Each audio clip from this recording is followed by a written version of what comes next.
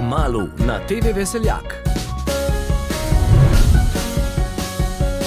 Je dobro, ne slabo, kar lepuje, ne grdo. Kdor je srečen, na trpi, kdor še čuje, da nas spi. Kmalu na TV Veseljak.